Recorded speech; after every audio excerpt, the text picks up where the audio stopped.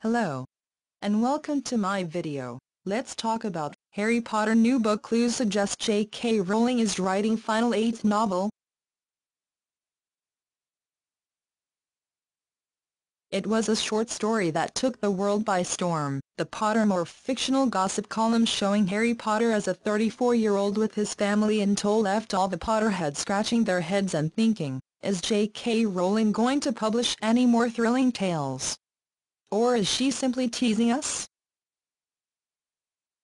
Many of the high-class Potter fans have now come to one conclusion, J.K. Rowling is going to do something very exciting. On July 31st, could she even be ready to unleash a new book? Let's examine the evidence. A Quidditch short story revealed another Rita Skeeter book. My new biography, Dumbledore's Army, The Dark Side of the D-Mob will be available from Blotts on July 31. Harry Potter The 31st July is Rowling's birthday, this year marking her 49th year. Coincidentally, she shares her birthday with the star of the show, Harry Potter, who is 15 years younger. The date is significant in that it's the anniversary of many key events in the novels. To name a few. Hagrid arrives to collect Harry in the early hours of the morning, on his 11th birthday. Harry's first trip to Diagon Alley. Quirrell Squirrel attempts to steal from Gringotts Bank but the Philosopher's Stone has already been collected. Dobby warns Harry not to return to Hogwarts, after trying to make it seem like his friends didn't like him. At a family meal, Harry loses his temper and accidentally blows Aunt Marge up like a balloon. Igor Karkaroff is found dead, killed by the Death Eaters that he betrayed. Ginny gives Harry a birthday kiss. Dumbledore's will is read to Harry, Ron and Hermione by Rufus Scrimgeour. What if Rowling actually does publish announce something on this date? It would be fitting, after all, as LeakyCon is held on that day. For those new to the world of Harry Potter, LeakyCon is the national day for the celebration of our nerddom. It's like Comic-Con, but possibly slightly better. Harry Potter Potterheads have come up with a couple of plausible news stories. The obvious route.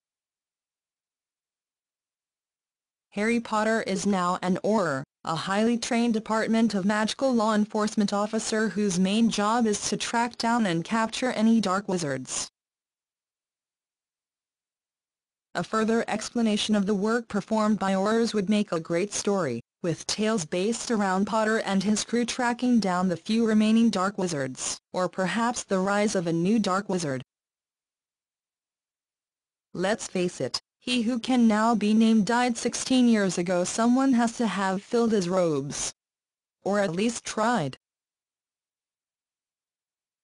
Trouble with the kids James Sirius Potter has just met Viktor Krum, the world-renowned seeker.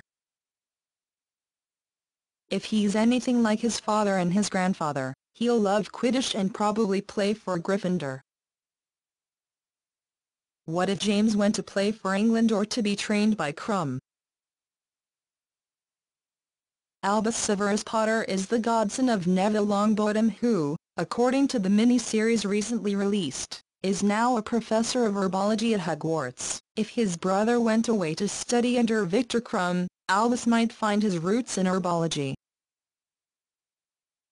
He's also quite shy, almost an opposite to his boisterous brother, which could lead to him quietly becoming evil. Perhaps he will rise as the new Dark Lord, studying the defense against the dark arts in order to know how to counter-counterattack the Ministry of Magic's counterattacks. Harry Potter Lily Luna Potter is too young, as far as we can tell, to be at Hogwarts. But what if she were stolen by a dark wizard? He'd have some nerve and probably die but having one of Harry's children raised to be evil would be pretty epic. or disastrous? Or both? But then again Harry has probably had Hermione cast a tracking spell on all the children. However, only time will tell. With any luck, the UK's biggest fandom will prove themselves correct, and we will be looking at a new saga of Harry Potter tales to read this winter.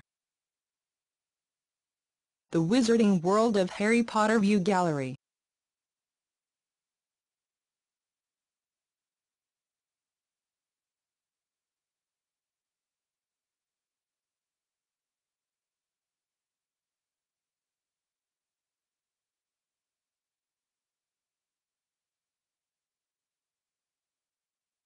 Please click the link in description for more information.